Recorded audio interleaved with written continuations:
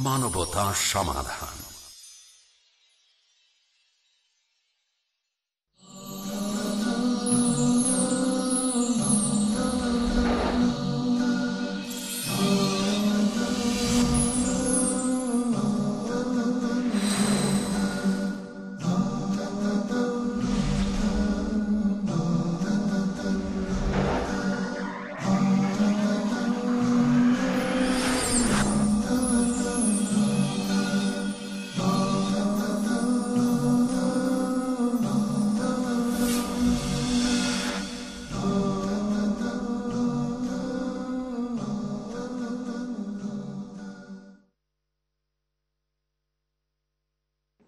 আসসালামু আলাইকুম রহমতুল্লাহ আলহামদুলিল্লাহ ওয়াহদা والصلاة والسلام على من لا نبي بعده عن أبي هريرة رضي الله تعالى عنه قال قال رسول الله صلى الله عليه وسلم لا يرحم الله من لا يرحم الناس রাহুল বুখারি মুসলিম সম্মানিত দর্শক মণ্ডলী প্রশংসা আল্লাহর জন্য শান্তি অবতীর্ণ হোক আল্লাহ রাসুলের উপর সাল্লাহ আলাইহি আসাল্লাম আমরা আদর্শ পরিবারের উপরে গুরুত্বপূর্ণ তথ্যবহল আলোচনা পেশ করছিলাম।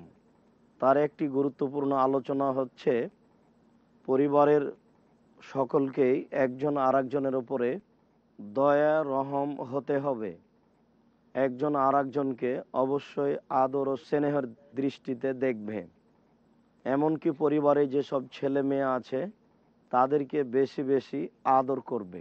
তাহলে একটা পরিবার সুন্দরভাবে গড়ে উঠবে এবং এমন পরিবার জান্নাত লাভ করতে পারবে।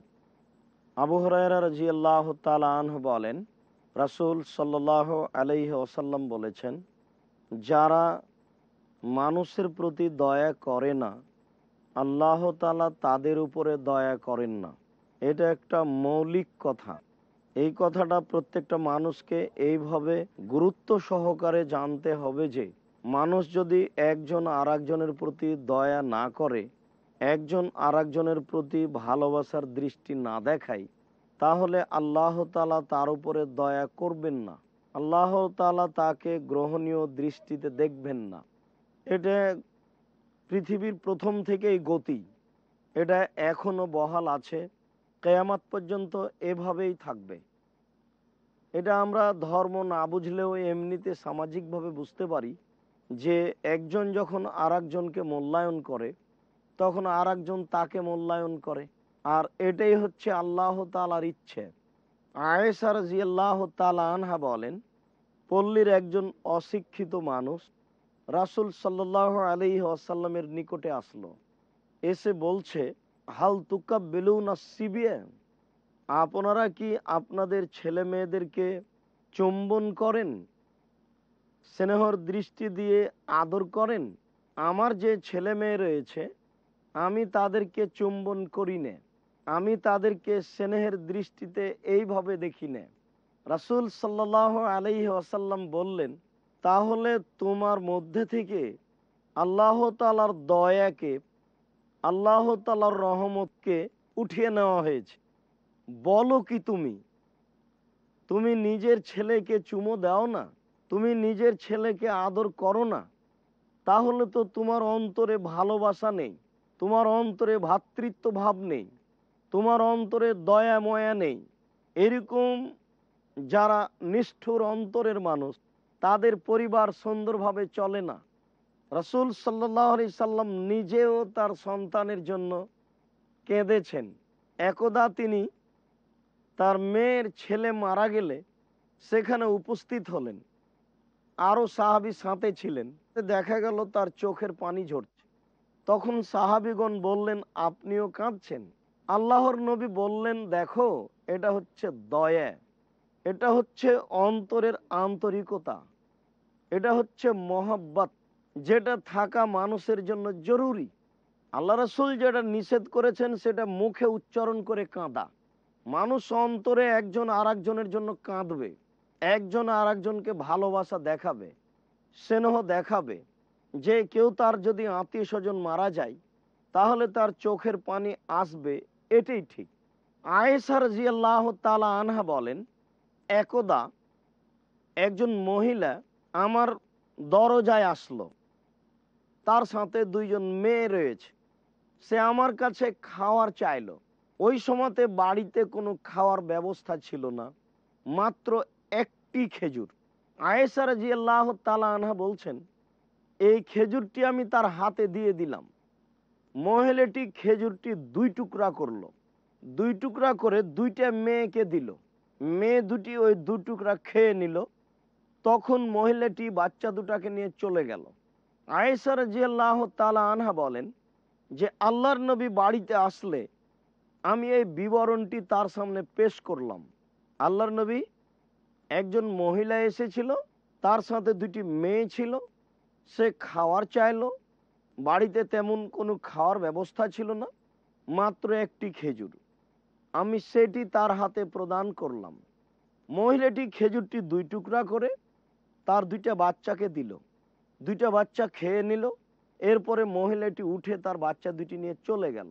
আল্লাহর নবী বললেন, দেখো আয়েশা, আল্লাহ তালা যাকে এইভাবে পরীক্ষা করছেন মেয়ে দিয়ে, তার জন্য একটা বড় ফলাফল রয়েছে। তুমি মনে রেখো যে, যারাই এইভাবে মেয়েদেরকে কষ্ট করে লালন পালন করছে, তাদের জন্য এরা হয়ে যাবে জাহান্নাম থেকে পর্দা। জাহান্নাম থেকে আড় হয়ে যাবে।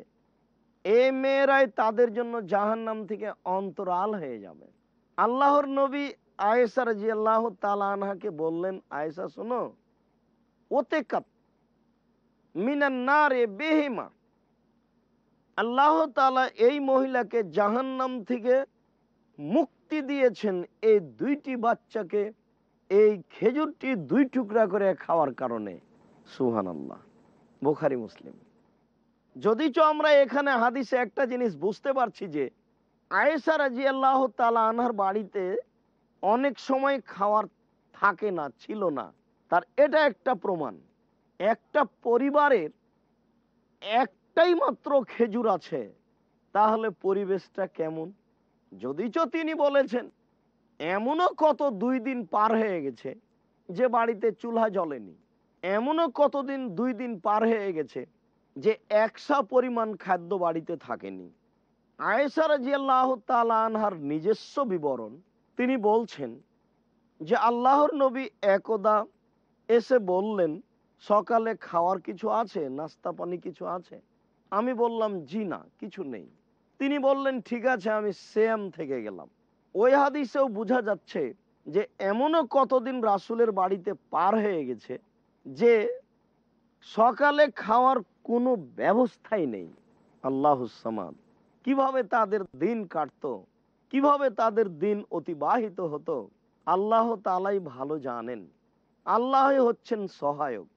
আবু হরাইরা রাজি আল্লাহ তালাহ বলেন, রসুল সাল্লাহ আলহি ওয়াসাল্লাম বলেছেন, মান আলা জারিয়াতাইনে, কেউ যদি দুইটা মেয়েকে লালন পালন করে হাত্তা তাবলোগা, দুইটা মেয়ে বড় হওয়া পর্যন্ত। আল্লাহর নবী বলছেন যে হো আওয়ানা ফিল জান্নাত হাকাজা। সেই ব্যক্তি আর আমি জান্নাতে এইভাবে থাকব। ফাজাম্মা আসাবে আহু এটা দেখিয়ে তিনি আঙ্গুলগুলিকে জমা করে দিলেন। একটা আর একটার সাথে এভাবে মিলিয়ে দিলেন।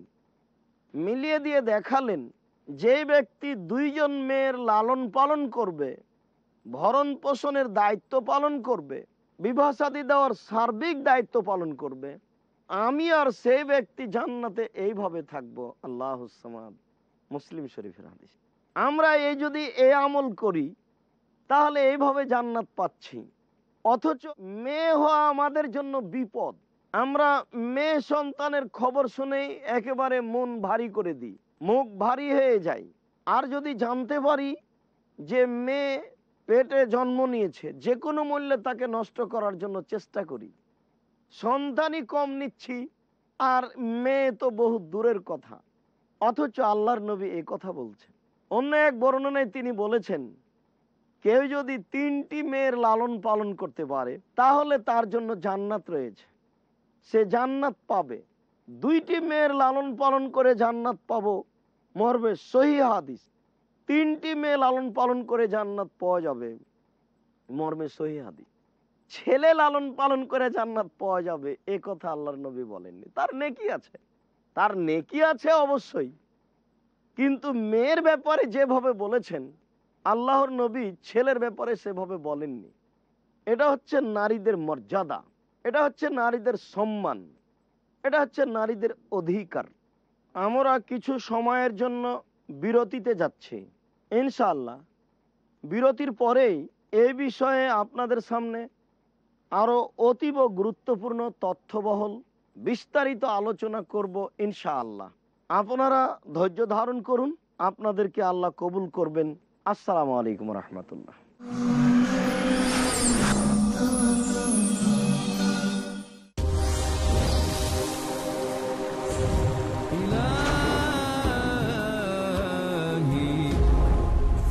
মানবতার পথ প্রদর্শক আল কোরআনুল করিম কি ওসিরাত করেছে মানব জাতির জন্য?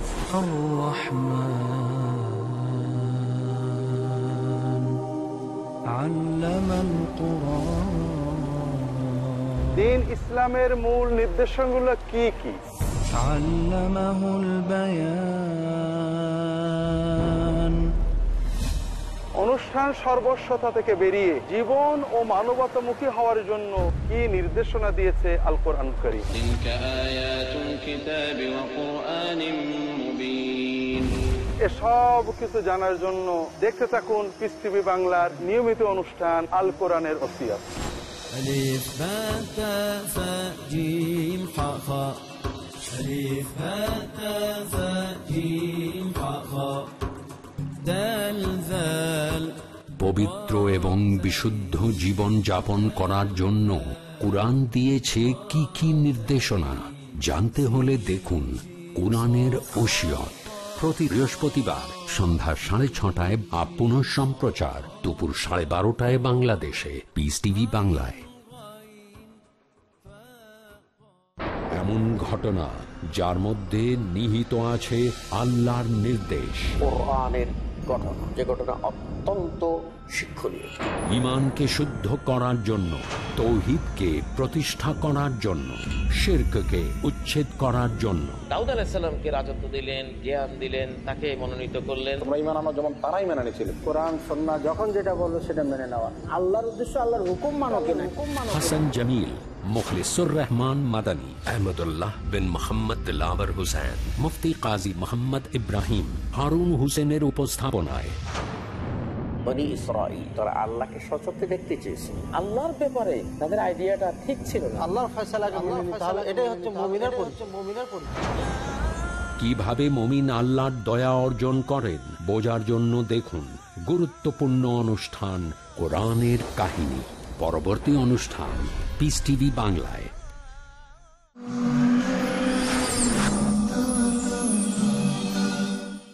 আসসালামু আলাইকুম রহমতুল্লাহ। সম্মানিত দর্শক মণ্ডলী, আপনারা এই গুরুত্বপূর্ণ আলোচনা শোনার জন্য অপেক্ষা করছেন। এই জন্য আমরা আপনাদের সুক্রিয়া আদায় করি। আল্লাহ তালা আপনাদের যাজায় খায়ের দান করুক। আল্লাহ আমিন। আমরা আপনাদের সার্বিক কল্যাণ কামনা করি। আমরা বলছিলাম, রাসুল সাল্লাহ আলী আসাল্লাম বলেন আসাই আলাল আরমেলাতে অল মিসকিনে কাসাই ফি সাবিলিল্লাহ। রাসুল সাল্লাহ আলহি আসাল্লাম বলেন যারা বিধবা মহিলার লালন পালনের দায়িত্ব গ্রহণ করে, যারা বিধবা মহিলাকে দেখাশোনা করে, তার ভরণ পোষণের সার্বিক দায়িত্ব গ্রহণ করে এবং মিসকিনের দেখাশোনা করে, মিসকিনের আহার জোগার প্রাণপণে চেষ্টা করে, সে ওই ব্যক্তির মতো নেকি পায়, যেই ব্যক্তি আল্লাহর পথে জেহাদে নেমেছে। আল্লাহর পথে জেহাদ করে যে নেকি পায় একজন বিধবা নারীর দেখাশোনা করে সে নেকি পায় একজন মিসকিনের দেখাশোনা করে সে নেকি পায় মিসকিন যে ব্যক্তি ভিক্ষা করে না, সংসারও চলে না। ফকির হচ্ছে যে ভিক্ষা করে বেড়ায়, আর মিসকিন হচ্ছে যে ভিক্ষাও করে না, লজ্জায় তার সংসারও চলে না। এরকম ব্যক্তিকে দেখাশোনা করে যে সে জেহাদ করে যে নেকি পায়, সে নেকি পাবে। জেহাদের নেকি তো ভিন্ন। জেহাদের পরিণাম জান্নাত। রাসুল সাল্লাহ আলহি আসাল্লাম বলেছেন যে, বিচারের মাঠে যারা মুজাহেদ, তারা যখন উঠবে, তখন তাদের শরীর দিয়ে রক্ত ছুটবে। রক্তের রং হবে রক্তের মতো, আর রক্তের সেন্ট হবে আতরের মতো। এর তুলনা আছে, যারা আল্লাহর পথে জেহাদ করে মারা যায়, তাদের প্রথম সূচনাতেই ক্ষমা। তাদের কবরের শাস্তি হবে না। তাদের কেয়ামতের মাঠে কোনো আশঙ্কা, কোনো ভয় ভীতি থাকবে না। তাদেরকে বাহাত্তর জন নারী দেওয়া হবে। তার মাথায় একটা সম্মানী টুপি প্রদান করা হবে এবং সত্তর জন মানুষের ব্যাপারে তাকে সুপারিশ করতে বলা হবে। মুজাহেদের সাথে এরকম একটা লোকের তুলনা করা হচ্ছে, এটা বিশাল ব্যাপার। যারা এসব মানুষের দেখাশোনা করে তাদের নেকির কোনো হিসাব নেই। আল্লাহ রসুল এই পর্যন্ত থামলেন না। তিনি বললেন, যে ব্যক্তি দিনে শ্যাম পালন করে, তার সমান নেকি। যে ব্যক্তি রাতে তাহাজুদ পড়ে, তার সমান নেকি। আল্লাহ সমান একদিন কেউ যদি আল্লাহকে সন্তুষ্ট করার জন্য শ্যাম পালন করে, তাহলে আল্লাহ তালা জাহান্নামকে তার থেকে সত্তর বছরের পর দূরে সরিয়ে দেন। রাসুল সাল্লাহ আলী আসাল্লাম বলেন শ্যাম পালনকারী যে নেকি পায়, সে নেকি পাবে। একদিন সিয়াম পালন করলে জাহান্নামকে তার থেকে সত্তর বছরের পথ দূরে সরিয়ে দেওয়া হয়। এ তো মানে বিশাল ব্যাপার। শুধু তাই নয়, তিনি আরও বললেন যে রাতে তাহাজুদ পড়ে যে নেকি পায়, সে নেকি পায়। যারা তাহাজুদ পড়ে তাদের তো নেকি মানে বেহিসাব। আল্লাহ তাদের প্রতি সন্তুষ্ট। যারা তাহাজুদ পড়ে, আল্লাহ তাদের প্রতি সন্তুষ্ট। তাদের পাপ মোচন হয়ে যায়। তারা পাপ থেকে দূরে সরে যায়। তাহলে যে ব্যক্তি বিধবা নারীর দেখাশোনা করল, যে ব্যক্তি মিসকিনকে খাদ্য দিল, অসহায় মানুষের সহযোগিতা করল, সে তিনজন মানুষের নেকি পাচ্ছে। এক, জেহাদকারী জেহাদ করে যে নেকি পায়। দুই শ্যাম পালন করে শ্যাম পালনকারী যে নেকি পায়। তিন, রাতে তাহাজুদ পড়ে সে ব্যক্তি যে নেকি পায়। এই বিধবা নারীকে দেখে সে নেকি পায়। আল্লাহ সামাদ। সম্মানিত দর্শক মন্ডলী হাদিস বোখারি মুসলিম থেকে বলছি। একটি হাদিস যদি আমরা জাতির কাছে ভালোভাবে পৌঁছাতে পারি, তাহলে পৃথিবীতে অসহায় নারীর ভাতের অসুবিধা হবে না। মিসকিনের সাংসারিক কোনো সমস্যা হবে না। আসলে এই কথাগুলি আমরা জাতির সামনে সুন্দর করে পৌঁছাতেই পারছি না। দর্শক মন্ডলী আমরা মনে করব, এই কথা আপনি জানার পরে আরও পাঁচজনকে বলে দিবেন। রাসুল সাল্লামের এই কথা যেন সবার কাছে ছড়িয়ে যায়, সবার কাছে সুন্দর হয়ে যায়। এটা আমাদের জন্য জরুরি। আবু হরাই আল্লাহ তালাহ বলেন, রাসুল সাল্লাহ আলহি আসাল্লাম বলেছেন, কাফেলুল এতিম ওয়ানা যেই ব্যক্তি এতিমকে লালন পালন করে আর আমি, সেই ব্যক্তি হাকাজা এইরূপ। এই বলে তিনি দেখাতে গিয়ে, ও আশারা বিশ্বাব্বাবাতে ওয়ালওস্তা অফাররা যাবাই না হুমা তিনি আঙ্গুল দুইটি দিয়ে ইশারা করলেন, এই তর্জনী আর মধ্যম আঙ্গুল দিয়ে, আর দুই আঙ্গুলের মাঝে একটু ফাঁকা রাখলেন। একটু ফাঁকা রেখে বললেন, শোনো, দেখছ, এই দুই আঙ্গুলের মধ্যে যেমন ফাঁকা রয়েছে, একটু ঠিক যে ব্যক্তি এতিমের দেখাশোনা করে সেই ব্যক্তি আর আমি জান্নাতে এইভাবে থাকব, বুখারি, মুসলিম। যারা এতিমের লালন পালন করে, তারা জান্নাতে যাবে। কোনো সমস্যা নেই। আপনি আল্লাহকে বিশ্বাস করে নেকির আশাই এতিমের লালন পালন করুন ইনশাল্লাহ জান্নাত হবে। আল্লাহ রসুল এইভাবেই বলেছেন। আবু হরাইরা রাজি আল্লাহ তালাহ বলেন, অন্য এক বর্ণনায় বারা ইবনে আজেব রাজি আল্লাহ তালাহ বলছেন যে একজন ব্যক্তি রাসুলের নিকটে আসলো, এসে অভিযোগ করল, ফাঁসাকা কাসুয়াতা কালবেহি। সে তার অন্তরের কঠোরতার অভিযোগ করল। বলল, আল্লাহর নবী, আমার অন্তরটা খুব কঠোর, আমার অন্তরটা খুব শক্ত। এ ব্যাপারে আপনি কিছু বলুন।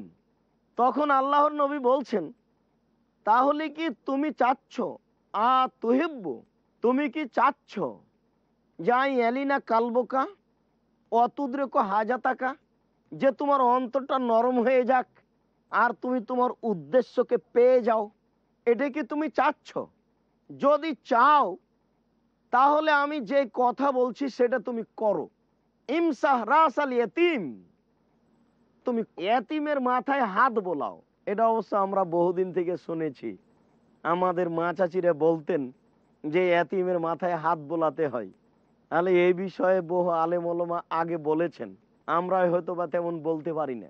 আল্লাহর নবী বলছেন যে, তুমি তোমার উদ্দেশ্য যদি পেতে চাও, যদি তোমার অন্তর নরম হওয়া চাও, তাহলে তুমি এতিমের মাথায় হাত বোলাও।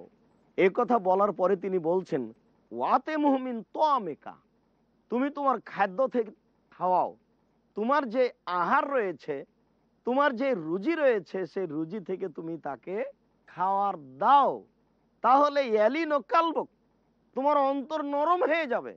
অতুদ্রেক হাজাতাক তুমি তোমার উদ্দেশ্য পেয়ে যাবে। তুমি যেটা করতে চাচ্ছ সেটা পেয়ে যাবা। তুমি যেটা পেতে চাচ্ছ সেটা তুমি পেয়ে যাবা। সম্মানিত দর্শক মণ্ডলী, আমরা এ হাদিসের এ অংশে বুঝতে পারছি যে এতিমের মাথায় হাত বোলালে আর এতিমকে খাদ্য দিলে দুইটা জিনিস হবে। একটা অন্তর নরম হয়ে যাবে আর যেটা মনের আশা, সেটা পূরণ হবে। চাই আমার ছেলে মেয়ে বড় হোক, সেটা হবে। চাই আমার মনটা কিছু অর্থ সম্পদ হোক, সেটা হবে। চাই আমার মন জান্নাত লাভের, সেটা হবে। আল্লাহর নবী বলছেন যে, তোমার প্রয়োজন পূরণ হয়ে যাবে। আবু হরাইরা রাজি আল্লাহ তালা আনহ বলেন, রসুল সাল্লাহ আলহি ওসাল্লাম বললেন, তোমরা এতিমকে খাদ্য প্রদান করো মিসকিনকে খাদ্য প্রদান করো। ওখানে এভাবে এসেছে, একজন লোক রাসুলের কাছে তার অন্তরের শক্ত হয়ে যাওয়ার অভিযোগ করল। শাকা এলেন নবী সাল্লাহ আলি কাসোয়াতা আল্লাহর নবীর কাছে তার অন্তর শক্ত হয়ে যাওয়ার ব্যাপারে অভিযোগ করল। তখন আল্লাহর নবী বললেন আচ্ছা ঠিক আছে, কোনো সমস্যা নেই। আতেম তো আমাকাল ইয়েতিম। তুমি এতিমকে খাদ্য প্রদান করো। অল মিসকিন এবং মিসকিন অসহায় মানুষকে খাদ্য প্রদান করো। অনেক বর্ণনায় বলা হয়েছে যে এতিমের মাথায় হাত বোলাও এবং মিসকিনকে খাদ্য প্রদান করো। এতিমের মাথায় হাত রাখলে আর মিসকিনকে খাদ্য দিলে অবশ্যই অবশ্যই অন্তর নরম হয়ে যাবে। আল্লাহ তালা তার উপরে সন্তুষ্ট হবেন। আর মিসকিনকে খাদ্য দিলে সর্ব ধরনের প্রয়োজন পূরণ হয়ে যাবে। অবশ্যই মানুষকে অধীনস্থ মানুষের প্রতি দয়া, মহব্বত, ভালোবাসা রাখতে হবে। আবু তালাহ বলেন, রাসুল সাল্লাহ আলাইহি ওসাল্লাম বলেছেন যে আল ওয়াহেদ, সারা দুনিয়ার মোমেন হচ্ছে একজন মানুষের মতো। এজাস্তাকা আইনহ ইস্তাকা কুল্লহ। এজাস্তাকার আসহ ইস্তাকা কুল্লহ। যদি চোখ ব্যথা করে সম্পূর্ণ শরীর ব্যথা করে। যদি মাথা ব্যথা করে, সম্পূর্ণ শরীর ব্যথা করে। অর্থাৎ একজন মানুষের চোখে ব্যথা হলে গোটা শরীরের ব্যথা অনুভব করে।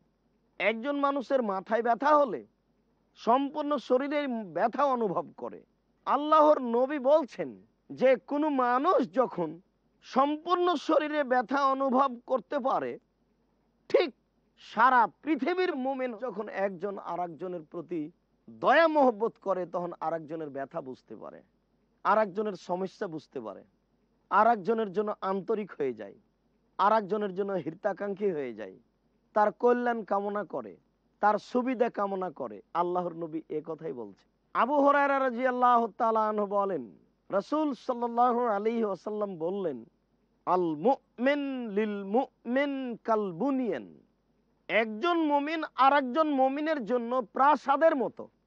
প্রাসাদে যেমন একটা ইট আর একটা ইটকে শক্তভাবে চেপে ধরে আছে, একজন মোমেন আর একজন মোমিনকে তেমন চেপে ধরে থাকবে।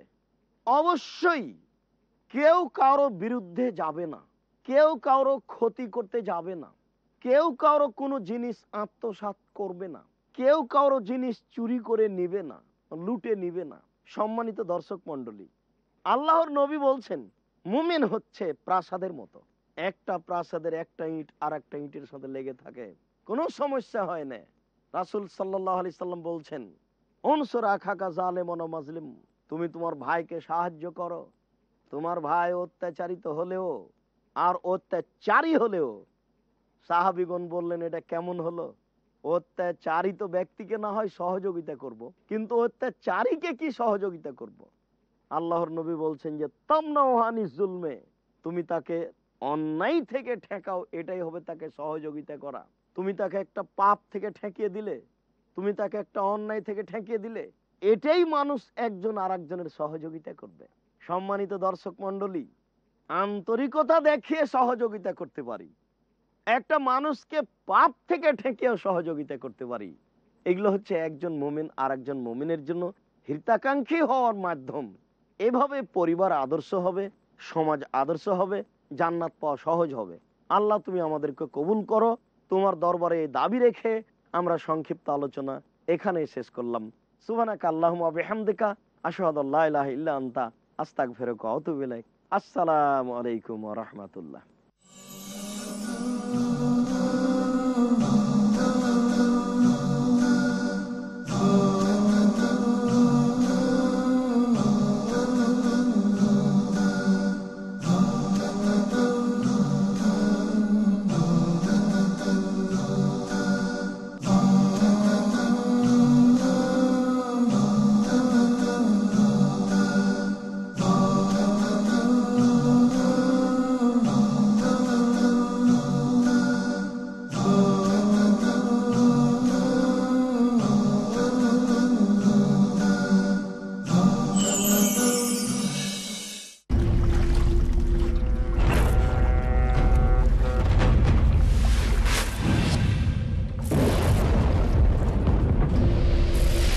লকার আপনার সম্পদকে সুরক্ষিত না রাখতে পারে, বিনিয়োগ আপনার সম্পদকে না বৃদ্ধি করতে পারে, কিন্তু জাকাত দিলে নিশ্চয়ই আপনার সম্পদ বাড়বে, থাকবে সুরক্ষিত এবং পবিত্র। পিস টিভির সাথে থাকুন, আপনার জাকাত দানের অর্থ পাঠাতে পারেন আইআরএফআই আলট্রায়ন ব্যাংক, কোয়াড্রান্ট কোড আটচল্লিশ Calthorpe road, Birmingham, UK. Pound account number শূন্য এক এক তিন দুই তিন শূন্য এক। আই ব্যান জিবি বাহান্ন এল ও ওয়াইডি তিন শূন্য নয় ছয়, তিন চার শূন্য এক, শূন্য দুই চার এক, নয় দুই, শর্ট কোড তিন শূন্য শূন্য শূন্য আট তিন, সোয়েব BIC code, I BO BGB বাইশ। টাকা পাঠিয়ে আমাদের ইমেল করুন, admin at the rate peace TV dot TV. Peace TV, মানবতার সমাধান।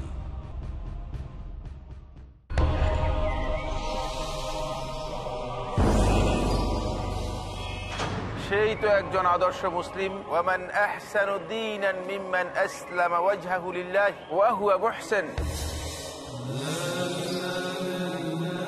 যে তার সত্তাকে আল্লাহর জন্য একনিষ্ঠভাবে সৎকর্ম পরায়ণ হয়ে অনুগত করল।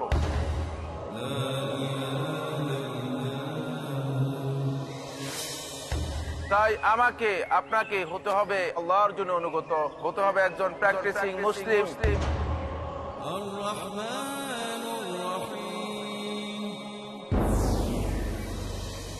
তাই একজন আদর্শ মুসলিম হতে হলে পিস টিভি বাংলায় দেখুন আমার আলোচনা একজন আদর্শ মুসলিমের করণীয় ও বর্জনীয়।